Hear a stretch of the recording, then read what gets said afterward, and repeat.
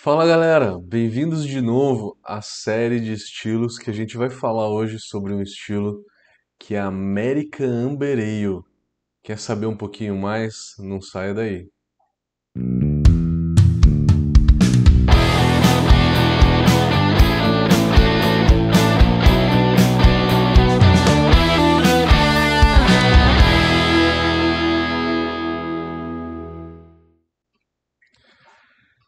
Então, vamos falar então da American Ale. Da onde que surgiu esse estilo? Falando um pouquinho da história. Esse é um estilo que surgiu na década de 80, mais precisamente em 1983. Foi na década de 80 que começaram a, a se desenvolver novos estilos, que é onde começou a se identificar a, a escola americana a escola americana, né, com essa pegada mais artesanal, começou ali na década de 80, que é onde que se criaram a American IPA, a American Pale Ale, né, então foi ali na, na década de, de 80, porque até a década de 70 só tinham grandes cervejarias. E aí essa pegada mais artesanal nos Estados Unidos começou a partir da década de 80. Primeiro se criou a APA, a American Pale Ale. E vindo da APA, muito próximo ali, alguns anos de diferença. A APA foi feita em 1981, 82. A Amber Ale, originária da APA, surgiu em 1983 com a Mendocino Red Tail Ale. É o nome da cerveja, né, que foi feita lá em 1983 é, ela surgiu da APA, então ela tem a mesma graduação alcoólica da APA, mas a ideia deles era fazer uma Red Ale, e eles chamaram de Red Ale. Então foi a versão da Red Ale americana. A Red Ale inglesa, ela usa lúpulos ingleses e a American Amber vai usar então aí lúpulos americanos. Então você tem uma similaridade muito grande em maltes. O maltado então da, da Amber é muito próximo de uma de uma de uma Red Ale inglesa, né? Então a Amber e a Red Ale inglesa em termos de malte estão muito próximas. A graduação alcoólica vai de 4,5 a 6,2. Acima de 6.2, você tem a Red IPA, né? A Red IPA, então, se ela for muito maltada, mais alcoólica é, e mais lupulada também, ela acaba se tornando uma Red IPA.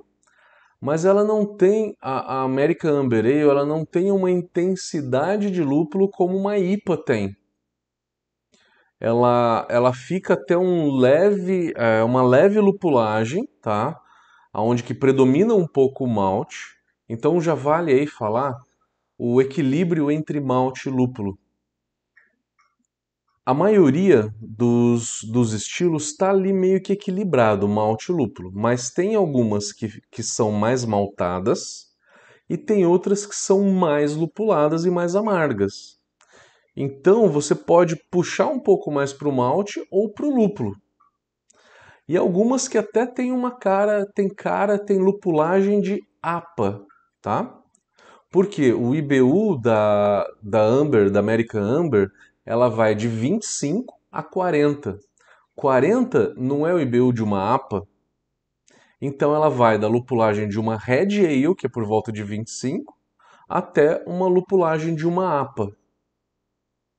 Tá? Esses comparativos acho que fica fácil de vocês entenderem. Então, é, vai de 25. Se tiver 25, ela é um pouco mais maltada do que lupulada, ou talvez equilibrada. Se ela tiver 40 IBUs, ela vai começar a ser um pouquinho mais lupulada, tá? Vai aparecer aí uma APA. A APA é predominantemente lupulada, né? Aparece muito mais na APA lupulagem do que o malte. Na dúvida, que nem eu sempre falo, quer inscrever uma para um concurso, você tem que ir no meio, tá? Você tem que ir ali no meio. Então vai fazer ela por volta de 30 IBUs, é, com um dry hop mais um dry hop pequeno, talvez de uma grama por litro, é, não muito, ou fazer uma carga muito grande de, de lúpulo no Ripple, tá? Mas então falando aí do equilíbrio, vamos falar agora do maltado. Se eu quero fazer um maltado, como é que é o maltado de uma American Amber? O maltado de uma American Amber tem complexidade. A complexidade de malte caramelo que uma Red Ale tem. Que aí é o uso de malte cristal, né, o malte caramelo, é, que esteja aí numa faixa de cor entre 100 120, 150 EBC de cor, que dá complexidade para a cerveja. A American Amber, ela não pode ter aquele doce enjoativo, não pode ser pesada. Ela pode chegar até um corpo médio, médio alto no máximo, mas é muito raro. Tentem fazer ela com um corpo médio, tá? É, e aí a quantidade de caramunique vai de 7 a 10% não muito mais do que isso.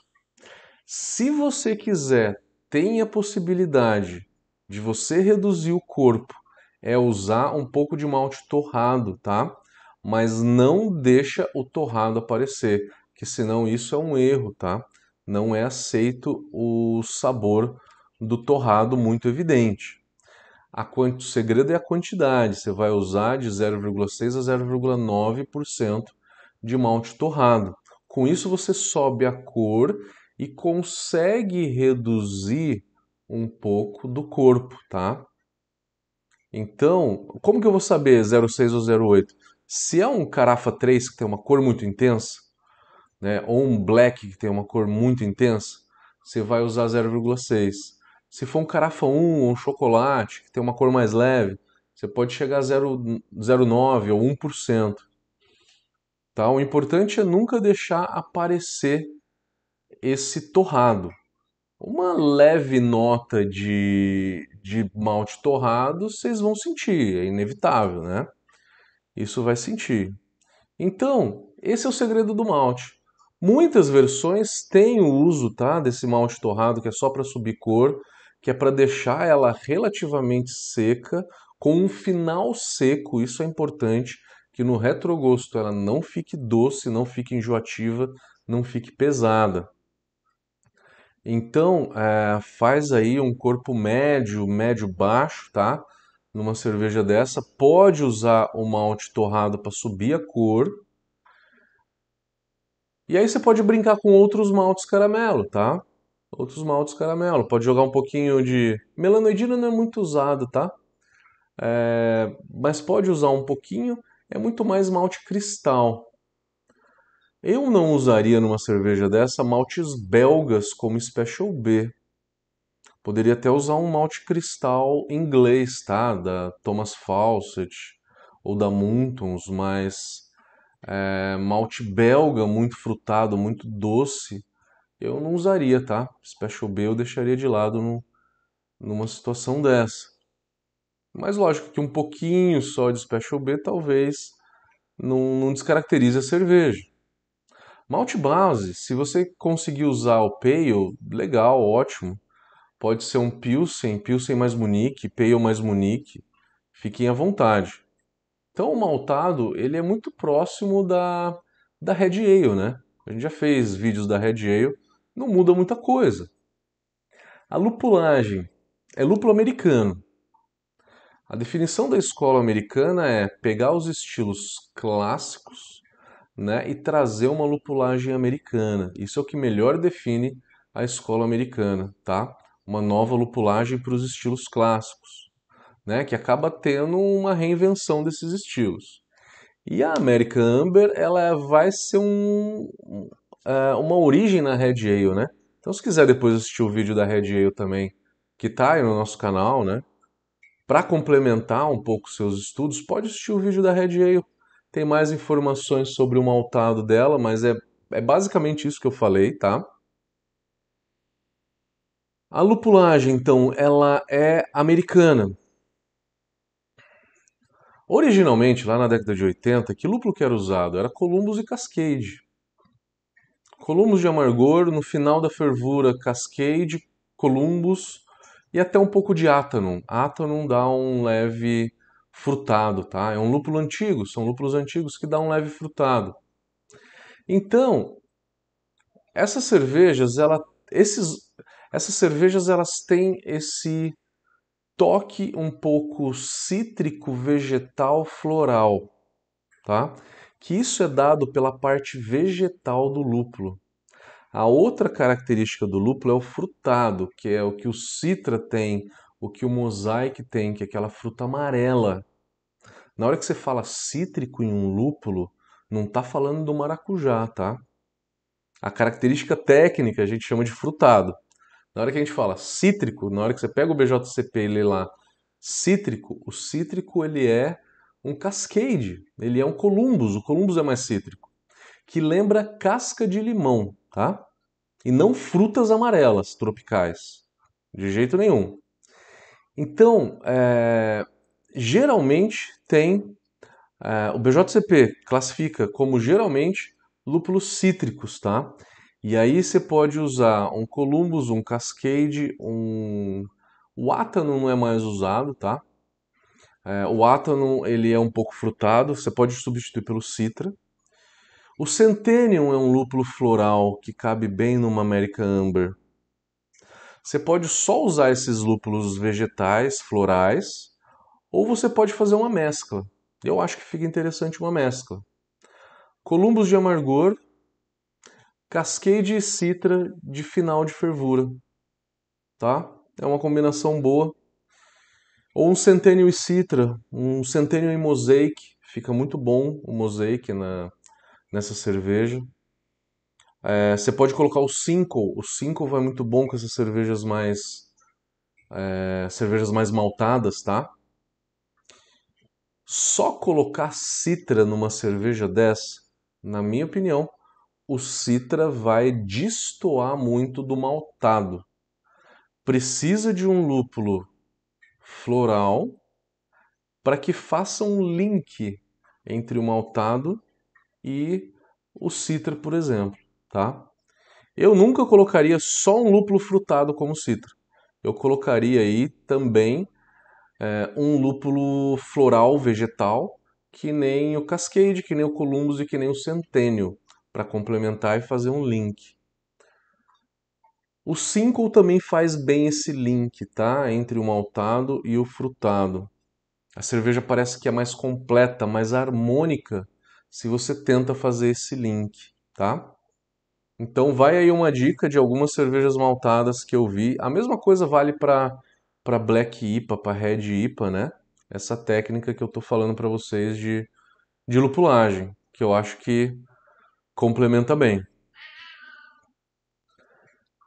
É, então, lupulagem, uma lupulagem de amargor, de final de fervura é imprescindível.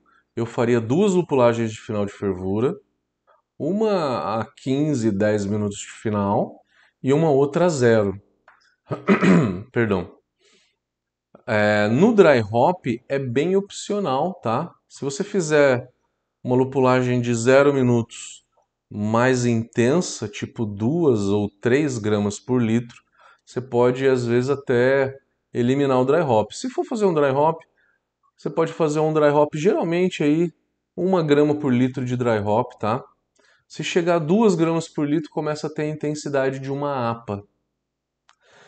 E ela não é tão lupulada quanto a APA. Ela é um pouco menos lupulada do que a APA.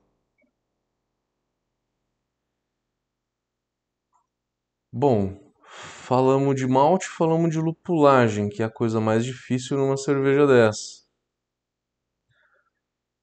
Fermentação. Para cerveja lupulada, geralmente levedura neutra, qualquer levedura que você vai usar para fazer IPA, tá? Raramente se usa uma levedura inglesa frutada, como S04, Windsor, é, London Ale, entre outras. Geralmente são leveduras mais neutras para deixar aparecer o lúpulo, tá? Uma segunda opção seria alguma dessas leveduras frutadas. Beleza. Aí, fermentação, se for uma levedura neutra, 17 e 18 graus. Se for uma levedura mais frutada, 20, 22. Aí é uma levedura frutada inglesa, né? 20, 22 graus, tá? Desde o começo da fermentação, não muito mais do que essa temperatura. A água de uma cerveja dessa. Quando a gente fala da água, reflete muito o equilíbrio que a cerveja tem. E eu falei para vocês que ela pode ser um pouco mais maltada do que lupulada, ela pode ser bem equilibrada, que é o que geralmente se faz, mas ela pode também ser levemente mais lupulada, tá? Mais lupulada do que maltada. Então o equilíbrio aí entre sulfato e cloreto vai depender muito do, do conceito que você usou para fazer essa cerveja. Então, podemos falar aí de. Vamos falar que você vai fazer ela equilibrada. É, o sulfato e cloreto ficar na casa dos 100, 120, tá? Se for mais lupulada, 120 de sulfato e uns 80 de cloreto. Ou vice-versa, tá? 120 de cloreto e 80 de sulfato. É uma ideia. O cálcio você pode corrigir tranquilamente de 70 a 100, 80 a 100, tá? E o magnésio de 10 a 20. Sempre corrija o pH dessa cerveja é, durante a mostura, tá? Coloca um pouquinho de bicarbonato ali, dependendo da tua água, precisa de um pouco de bicarbonato, porque se a tua água é extremamente leve e você adiciona os sais sem adicionar o bicarbonato, você acidifica bastante, né? E numa Amber Ale você tem maltes mais caramelizados que acabam acidificando acidificando mais, né? Acabam são maltes. Quanto mais escuro o malte, mais ácido ele é. Então a correção de pH aí, se você fizer na mostura, ela é mínima. Deixa eu ver se eu esqueci de falar alguma coisa. Comparação de estilos, então é isso, gente. É, ela fica ali. É, ela é um espelho da Pale Ale, mas não é tão lupulada quanto a, a APA, quanto a American Pale Ale. É, ela parece mais uma Red Ale com lupulagem americana, aonde que o lúpulo pode ser modesto ou equilibrado, ou pode ser também um pouco mais intenso do que o malte. A Red IPA, ela tem uma graduação alcoólica acima da, da Amber Ale e tem uma lupulagem acima também, tá? Então o que vai diferenciar a Red IPA da da Amber Ale vai ser a lupulagem e o álcool.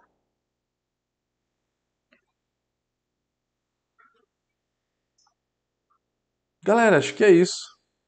Espero que vocês tenham gostado aí.